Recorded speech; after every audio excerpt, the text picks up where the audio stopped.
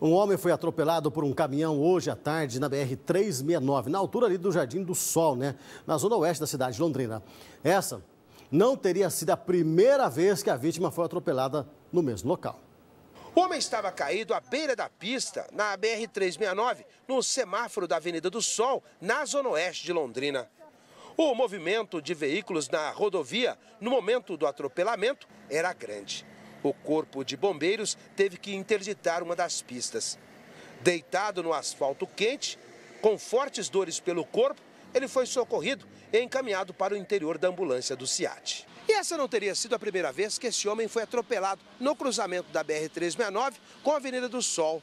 Da última vez, ele ficou internado diversos meses. Agora, segundo o sargento do Corpo de Bombeiros, os ferimentos são considerados leves comum ter tanto atropelamento quanto outros tipos de acidente nesse cruzamento.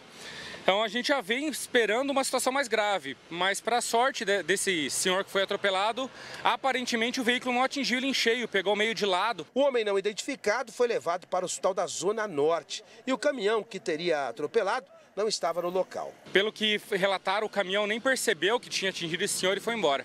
Ou seja, a situação dele não chega a ser grave.